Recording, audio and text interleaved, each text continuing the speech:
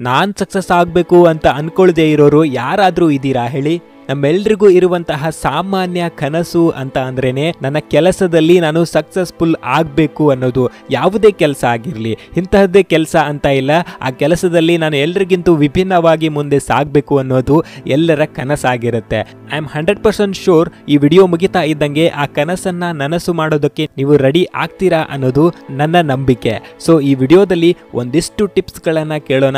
ಜೀವನದಲ್ಲಿ ಅವುಗಳನ್ನು ಅಳವಡಿಸಿಕೊಳ್ಳಿ. ಬದಲಾಗಿ ಇದರ ನಂತರ ಯಾವುದಾದ್ರೂ ಒಂದು ಫನಿ ವಿಡಿಯೋ ನೋಡ್ತೀರಾ? ನಕ್ಕು ಈ ವಿಡಿಯೋವನ್ನು ಮರೆತು ಬಿಡುವಂತಹ ಕೆಲಸ ಆಗಬಾರ್ದು ಇವತ್ತು. ನೀವಿದನ್ನು ಬರೆದಿಟ್ಕೊಳ್ತಿರೋ ಅಥವಾ ಏನು ಮಾಡ್ತಿರೋ ಗೊತ್ತಿಲ್ಲ. ಜೀವನದಲ್ಲಿ ಅಪ್ಲೈ ಮಾಡಿಕೊಳ್ಳಿ ಸಾಕು. ಫ್ರೆಂಡ್ಸ್ ಮನುಷ್ಯ ಎಂಥವನೇ ಆಗಿರಲಿ ಫೋರ್ ಟ್ವೆಂಟಿ ಆಗಿರಲಿ, ಏಟ್ ಫೋರ್ಟಿನೇ ಆಗಿರಲಿ, ಎಲ್ಲರ ಮನಸ್ಸಲ್ಲಿ ಇರೋದು I want to be successful ನಾನು ನನ್ನ ವೃತ್ತಿಯಲ್ಲಿ, ನನ್ನ ಕೆಲಸದಲ್ಲಿ ಸಕ್ಸಸ್ ಆಗಲೇಬೇಕು, ಯಶಸ್ಸಿನ ಹಾದಿಯನ್ನು ತುಳಿಲೇಬೇಕು ಅಂತ ಇದ್ದೇ ಇರುತ್ತದೆ. ದುಡ್ಡು ಸಂಪಾದನೆ ಮಾಡೋದಾಗಿರ್ಬೋದು ಅಥವಾ ಈ ಬಿಸ್ನೆಸ್ ಹ್ಯಾಂಡಲ್ ಮಾಡೋದಾಗಿರ್ಬೋದು, ವಿದ್ಯಾರ್ಥಿ ಇದ್ದರೆ ಓದೋದಾಗಿರ್ಬೋದು, ಯಾವುದೇ ಆಗಿರ್ಬೋದು, ಗುರಿ ಬೇರೆ ಬೇರೆ ಆಗಿರ್ಬೋದು, ಆದರೆ ಉದ್ದೇಶ ಒಂದೇ ಆಗಿರುತ್ತೆ. ಅದು ನನ್ನ ಕೆಲಸದಲ್ಲಿ ನಾನು ಸಕ್ಸಸ್ಸನ್ನು ಕಾಣಬೇಕು ಅನ್ನೋದು. ಎನಿವೆ ನಾನು ಮೊದಲೇ ಹೇಳಿದಂಗೆ ಅನುಕರಣೆ ಮಾಡೋಕ್ಕೆ ಹೋಗಬೇಡಿ.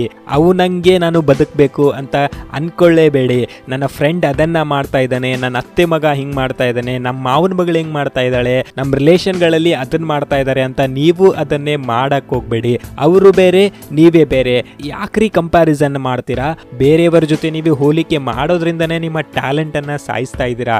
ನಿಮ್ಮ ಟ್ಯಾಲೆಂಟ್ ಏನು? ಯಾವುದರಲ್ಲಿ ನೀವು ಎಕ್ಸ್ಪರ್ಟು ಎಕ್ಸ್ಪರ್ಟ್ ಅಂದರೆ ಇನ್ ದ ಸೆನ್ಸ್ ಎಲ್ಲರಿಗಿಂತ ಚೆನ್ನಾಗಿ ಮಾಡಬಲ್ಲೆ ಇದನ್ನು ಅನ್ನೋದು. ಯಾವುದಾದ್ರೂ ಒಂದು ಕಲೆ ಇದ್ದೇ ಇರುತ್ತದೆ. ನಮಗೆ ಗೊತ್ತಾಗಬೇಕು ಅಷ್ಟೇ.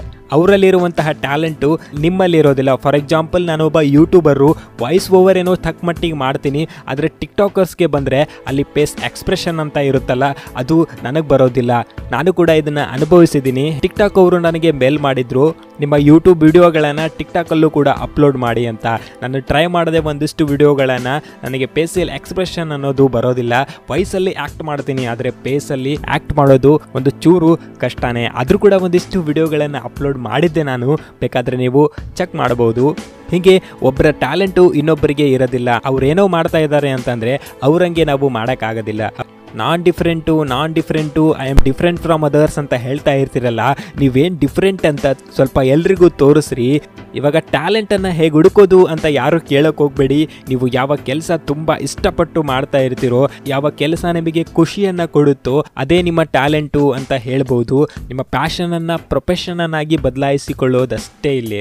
ನಿಮ್ಮ ಪ್ಯಾಷನನ್ನು ನಿಮ್ಮ ಟ್ಯಾಲೆಂಟನ್ನು ಡಿಸೈಡ್ ಮಾಡಿದ್ದೀರಾ ಅಂತ ಅಂದರೆ ಖಂಡಿತ ಇದ್ರ ಬಗ್ಗೆ ಆ್ಯಕ್ಷನನ್ನು ತಗೊಳ್ಳಿ. ಟೈಮ್ ತುಂಬಾ ಕಡಿಮೆ ಇದೆ. ನಿಮ್ಮ ಕನಸಿನ ಬಗ್ಗೆ ಯೋಚಿಸ್ತಾ ಸುಮ್ಮನೆ ಕೂರೋಕೆ ಹೋಗಬೇಡಿ. ಬಿಕಾಸ್ ಈ ಜಗತ್ತು ತುಂಬಾ ಫಾಸ್ಟಾಗಿ ಓಡ್ತಾ ಇದೆ. ಇವತ್ತು ಇದಿಲ್ಲ, ಇದ್ರ ಕೊರತೆ ಇದೆ. ಅಂತ ಗೊತ್ತಾದರೆ ನಾಳೆ ಯಾರೋ ಒಬ್ಬರು ಅದನ್ನು ಕಂಪ್ಲೀಟ್ ಮಾಡಿ ಬಿಟ್ಟಿರ್ತಾರೆ. ಸೊ ಆದಷ್ಟು ಬೇಗ ಆ್ಯಕ್ಷನನ್ನು ತಗೊಂಡ್ಬಿಡಿ. ನಿಮ್ಮ ಈ ಪ್ರಯತ್ನದಲ್ಲಿ ನೀವು ಫೇಲ್ ಆಗ್ಬೋದು. Failure is a first step for success ಅನ್ನೋ ಡೈಲಾಗನ್ನು ಸಿಕ್ಕಾಪಟ್ಟೆ ಕೇಳಿರ್ತೀರಾ. ಅದನ್ನು ಅಪ್ಲೈ ಕೂಡ ಮಾಡ್ಕೊಳ್ಳಿ. ಫೇಲ್ಯೂವರ್ ಅಂದ ತಕ್ಷಣ ನನಗೆ ನೆನಪಾಗೋದು ಥಾಮಸ್ ಅಲ್ವಾ ಎಡಿಸನ್ ಅವರು. ಒಂದು ಸಾವಿರ ಬಾರಿ ಬಲ್ಬನ್ನು ತಯಾರು ಮಾಡೋದಕ್ಕೆ ಸೋತವರಿವರು. ಒಂದು ಇಂಟರ್ವ್ಯೂ ಅಲ್ಲಿ ಕೇಳ್ತಾರೆ ಅವರಿಗೆ, ಎಡಿಸನ್ ಅವರೇ, ನೀವು ಒಂದು ಬಲ್ಬನ್ನು ತಯಾರು ಮಾಡೋದಕ್ಕೆ ಒಂದು ಸಾವಿರ ಬಾರಿ ಸೋತರು ಕೂಡ ಅದನ್ನ ಮಾಡಲೇಬೇಕು ಅನ್ನೋ ಹಠ ನಿಮಗೆ ಯಾಕೆ ಇತ್ತು?